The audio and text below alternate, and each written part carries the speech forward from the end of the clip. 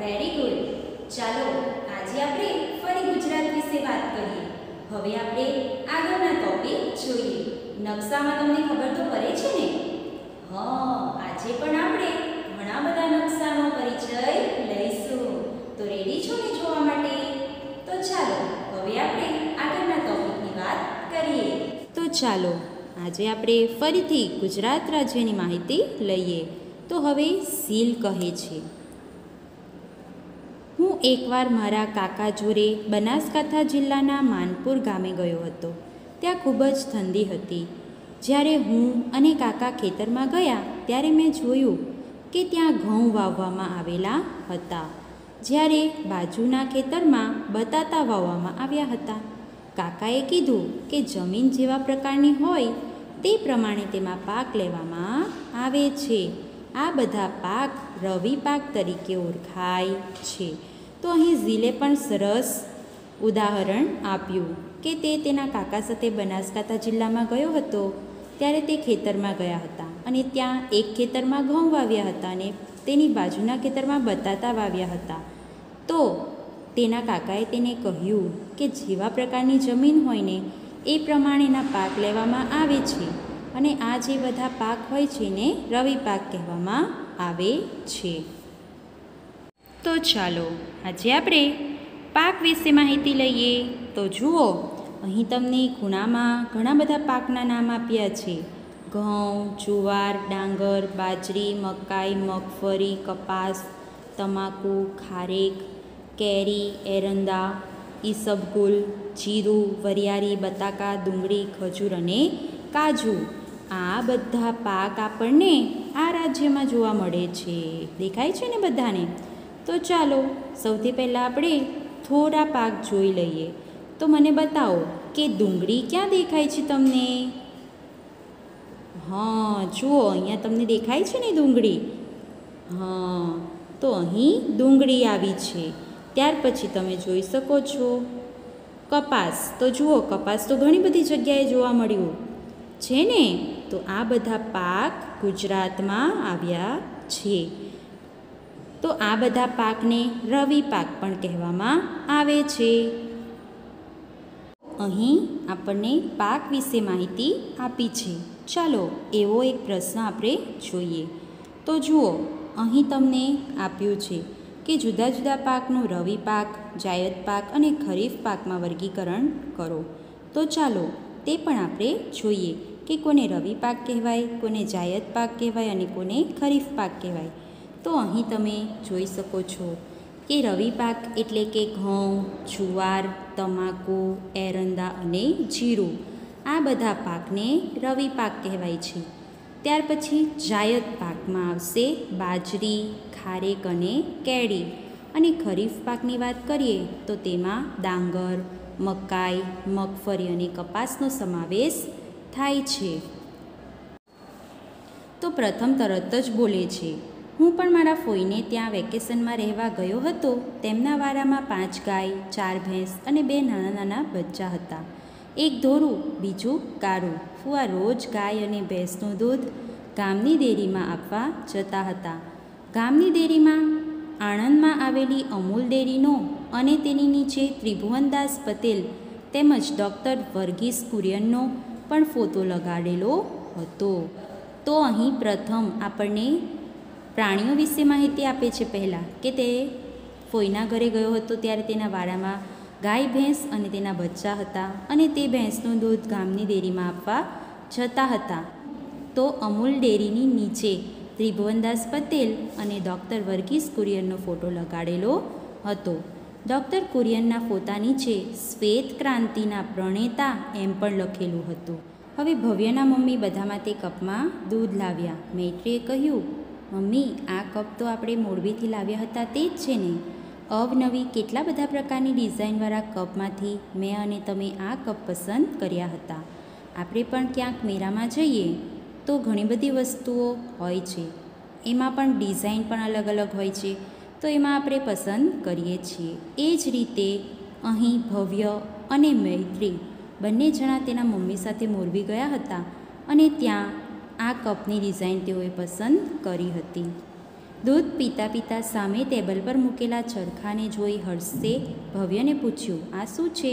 તે ક્યાંથી લાવ્યા હવે દૂધ પીતા પીતા અચાનક હર્ષની નજર ચરખા પર ગઈ અને તેણે પૂછ્યું, કે આ શું છે અને ક્યાંથી લાવ્યા છે ત્યારે તેના કાકાએ જવાબ આપ્યો, કે આ ચરખો છે. હું અને ભવ્ય ગાંધી આશ્રમ, એટલે કે સાબરમતી આશ્રમ, જે સાબરમતી નદીના કિનારે આવેલો છે.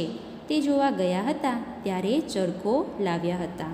ગાંધીજીએ ચરખા દ્વારા સ્વદેશી ચીજવસ્તુઓના ઉપયોગની અને વિદેશી વસ્તુઓના ઉપયોગ નહીં કરવા માટેની લડત ઉપાડી હતી.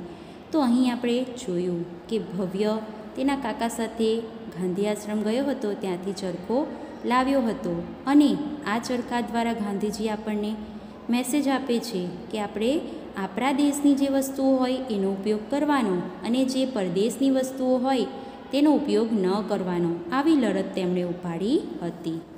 તો હવે આપણે ગુજરાત રાજ્યમાં જે અલગ અલગ પ્રકારના ઉદ્યોગો થાય છે તેનો પરિચય લઈએ. તો જુઓ, અહીં સિમેન્ટ, ડોલોમાઇટ, એસ્બેસ્ટોસ મેગેનિસ દવા ઉદ્યોગ, લિગ્નાઇટ ચિનાઈ માટી, તાંબુ, સીસુ જસત અકીક અકીક ઉદ્યોગ, ફ્લોર સ્પાર, ડેરી ઉદ્યોગ, સુતરાઉ કાપડ હીરા ઉદ્યોગ, રાસાયણિક ખાતર, ખનિજ તેલ, મીઠું, ખાંડ અને મત્સ્ય ઉદ્યોગ. આ બધા પ્રકારના ઉદ્યોગો અહીં જોવા મળે છે. તો જુઓ, આપણા સુરતની વાત કરીએ ને, તો સુરતમાં કયા કયા ઉદ્યોગો ચાલે છે? જુઓ, અહીં આપણને આ ત્રણ ચાર ચિહ્નો આપ્યા છે ને, એને આપણે અહીં શોધવાનું કોશિશ કરીએ. તો, સૌથી પહેલાં તમે અહીં જોઈ શકો છો, તો જસત. દેખાય છે ને? તો જુઓ, અહીં તમે જસત ઉદ્યોગ જોઈ શકો છો. ત્યાર પછી આ આકાર કોનો છે? જુઓ તો મીઠું. તો મીઠું પણ આપણા સુરતમાં મળે છે. ત્યાર પછી હીરા ઉદ્યોગ તો તમને ખ્યાલ જ હશે કે આપણા સુરતમાં હીરા ઉદ્યોગ તો ખૂબ જ મોટા પ્રમાણમાં થાય છે. અને આ આકાર શેનો છે?